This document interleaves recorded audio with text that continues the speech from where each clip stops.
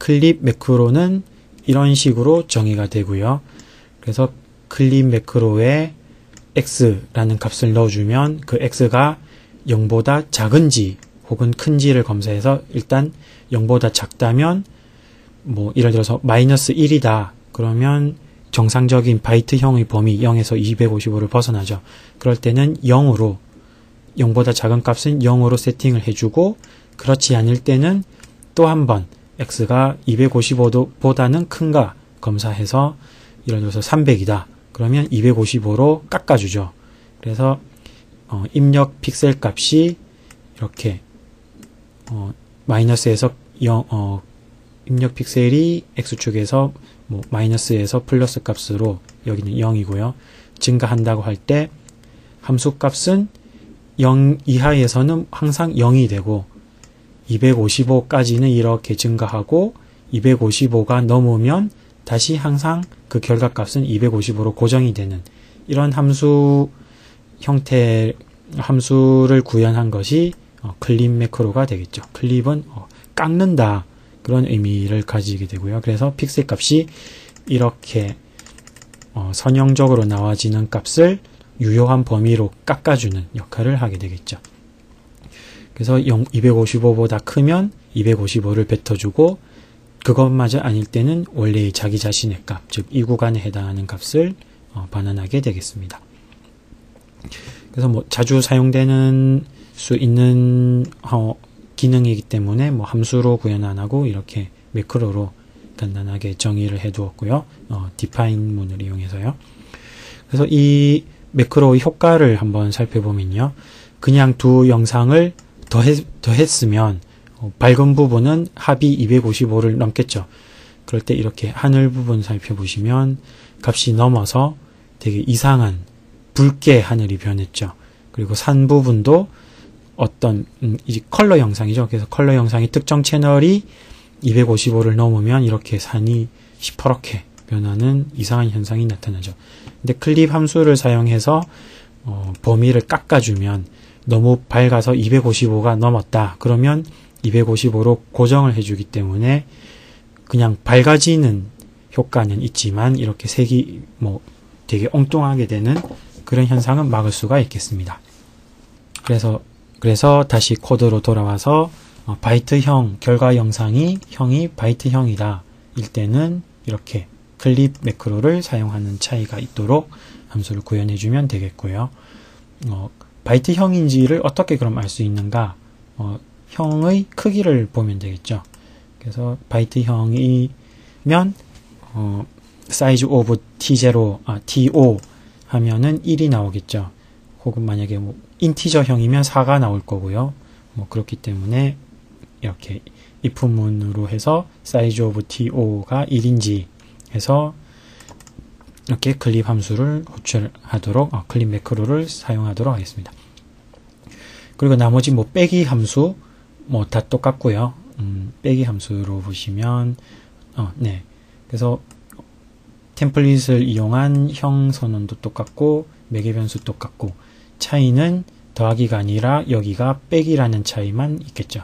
그리고 마찬가지로 바이트형일 때만 clip을 사용해주고 또 어, 이렇게 바이트형 아닐 때는 그냥 빼기 결과 뭐 마이너스 나올 수도 있겠죠. 근데 바이트형일 때는 0으로 깎아주는 그런 식으로 동작하게 되겠습니다. 어, 곱하기 함수 멀 이미지랑 나누기 함수 div 이미지 다 똑같이 구현이 되겠고요. 그래서 여기까지 어, 이런 템플릿을 이용해서 정의된 각 사칙연사 함수를 살펴보았고요. 어, 그런데 이렇게 어, 연산을 할 때 함수를 호출하는 것도 어, 은근히 귀찮을 수가 있습니다. 어, 예를 들어서 두 영상을 더할 때 add image 함수를 호출할 것인데 어, 결과 영상은 어, 생성을 미리 해서 넣어줘야겠죠. 그러니까 즉 결과 영상 ret라고 하면요, 이 return형의 영상은 미리 만들 생성을 해주고 어, 가로와 세로 크기 그리고 채널 수도 이 두 입력 영상과 같도록 만들어주고 그렇게 한 다음에 add image 함수를 호출할 텐데요. 어때 또두 어, 영상의 뭐 규격이 다른지 뭐 그런 검사가 들어갈 수도 있겠고요. 그래서 어, 이렇게 보다 간단하게 뭐 어떤 함수를 호출하는 형태가 아니고 이런 두 영상을 더하는 것이기 때문에 더하기 연산자를 써서 더하기를 수행하고 싶다. 이러면 코드가 훨씬 간결하게 되겠죠. 이를 하기 위해서 우리는 연산자의 다중정의를 이용해서 어, 이 더하기 기능 그리고 사칙연산 기능을 구현해 보도록 하겠습니다. 이런 영산자 다중정의는 어, 어, 사용자 정의된 어떤 클래스가 만들어졌을 때 언제든지 추가할 수 있는 어, 함수가 되겠고요. 그래서 보통은 연산자가 음, 특정 어, 더하기 이런 사칙 연산자는 기본 데이터형이죠. 뭐 int, float 그런 데만 구현 정, 어, 동작하도록 되어 있는데 이렇게 더하기 연산자를 영상에 대해서도 쓰고 싶다.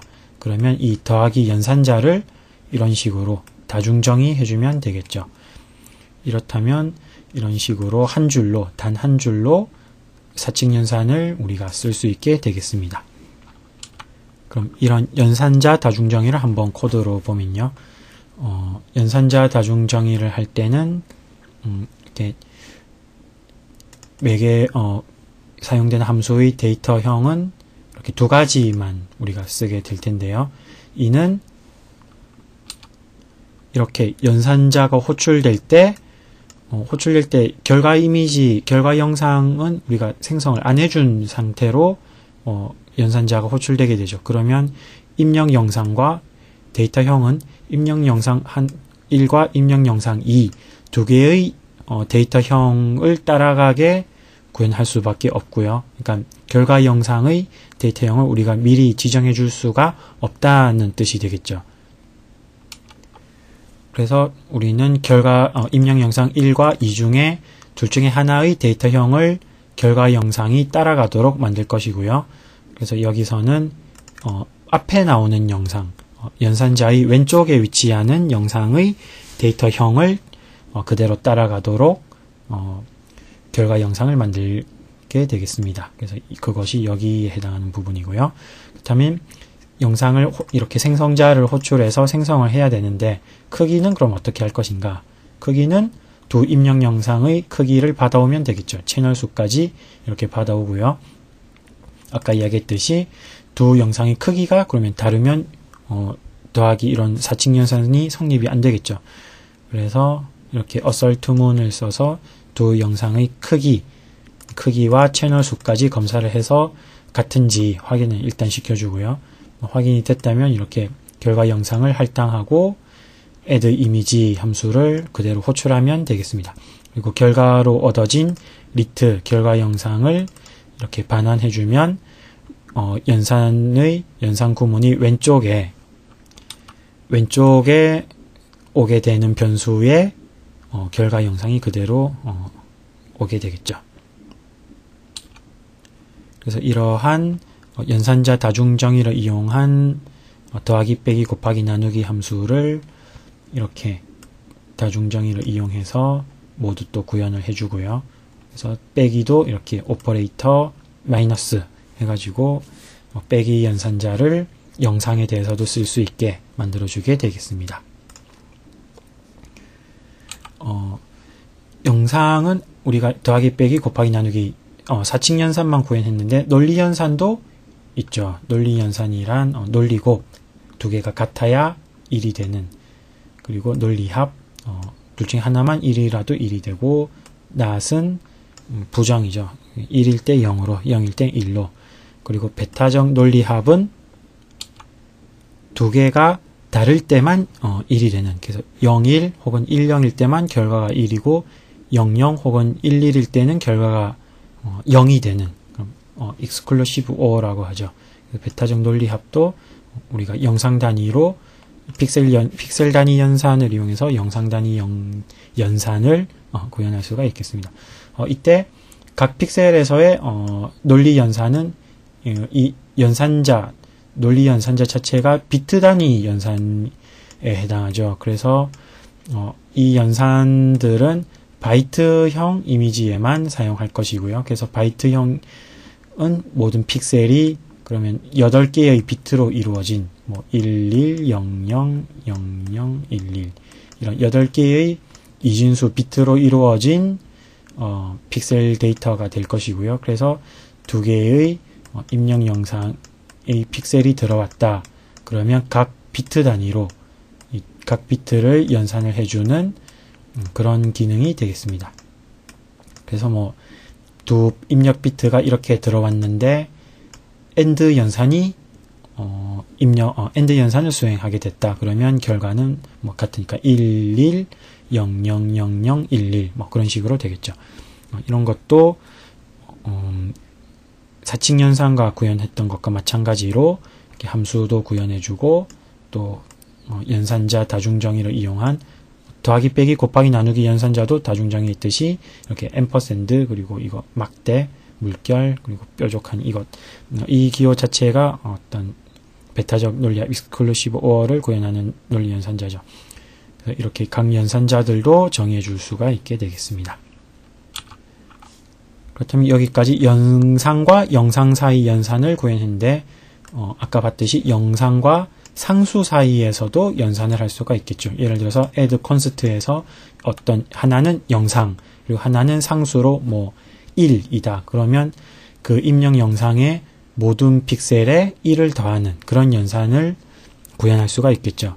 마찬가지로 뭐 빼기 곱하기 나누기 그리고 또 모든 사칭 어, 논리 연산도 구할 수가 있겠고요.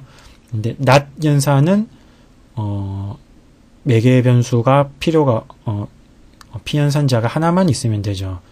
뭐 하나만 있으면 그것을 반전시키면 되니까 그래서 논리 연산은 세 개만 어, 정의를 하도록 하고 사칭 연산은 이렇게 모두 더하기 빼기 곱하기 나누기 다 해서 이것도 구현할 수가 있겠습니다. 마찬가지로 이렇게 연산자 다중정의도 똑같이 정의할 수가 있겠고요. 그래서 코드를 다시 살펴보면 이렇게 어, myimage func.h 여기에 이렇게 영상 단위 함수 아래에 이렇게 상수와의 연산도 한번 정의해 줄 수가 있겠습니다. 어, 여기서도 더해지는 상수는 어, 특정 타입을 뭐 꼭 안 지정해 줘도 되죠. 그래서 어, 실제 함수가 호출될 때 그때 어, 타입이 결정될 수 있도록 이렇게 template 또 typename을 또 똑같이 해서 T2 상수는 T2 영상은 T1 typename을 가지고요. 결과는 마찬가지로 TO 가지고요. 그래서 이 value, value를 뜻하는 VAL 값을 입력 영상에 입력 영상의 각 픽셀에 더해주면 되겠죠. 그래서 어, 이 부분만 다른 것이 되겠죠. 그래서 PSRC1과 PSRC2를 더해주는 것이 아니라 PSRC1의 value 값을 더해주는 영, 영, 연산이 되겠고요. 그래서 어, 영상과 영상 사이에서와 마찬가지로 바이트형일 때는 클립 매크로를 호출하고 아닐 때는 호출 안 하고가 되겠습니다. 마찬가지로 const 이 함수도 이렇게 그대로 호출을 해서 영상과 어, 상수 사이에 연산자 다중정의 operator plus 이렇게 구현해 줄 수가 있겠고요. 네. 그래서 여기까지 하면 어, 영상과 상수 사이의 연산도 이렇게 연산자 다중정의를 하는 것까지 했고요. 그래서 다음 시간에는 이것을 이용해서 간단한 영상 계산기 프로그램을 한번 만들어 보도록 하겠습니다.